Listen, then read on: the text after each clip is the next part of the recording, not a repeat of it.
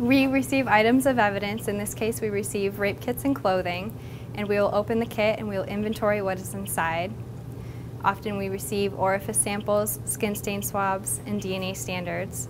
We will then look for body fluids such as semen, and we'll perform presumptive tests, which are color change tests. We'll look for a purple color change if it's positive, and we'll collect samples and forward them for DNA analysis. So in this room we do manual DNA extractions and essentially what we do is we receive items of evidence from the biologists in the next room and we will do we'll engage in a chemical process that will break open the cells and uh, we'll isolate the DNA in those samples. So in the differential process, which is known as the semen extraction, we try to separate male and female cells. So we can come up with one tube that will have the female DNA and one tube that will have the cells from the male.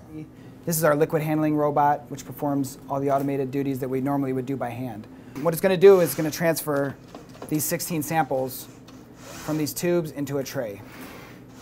At that point, the DNA will then be broken down with another chemical that will be added, and it will be washed repeatedly.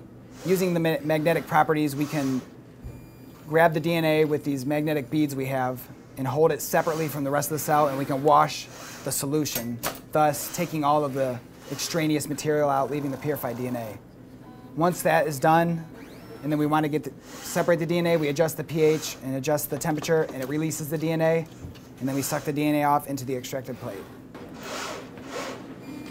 A sample comes into this room, it is at the amplification step, and amplification is where millions of copies of target DNA are created and fluorescently labeled. And then from the amplification step from the thermocycler, we place the samples onto another liquid handler that allows us to efficiently transfer the samples from the amplification plate to another plate that is utilized on the genetic analyzer.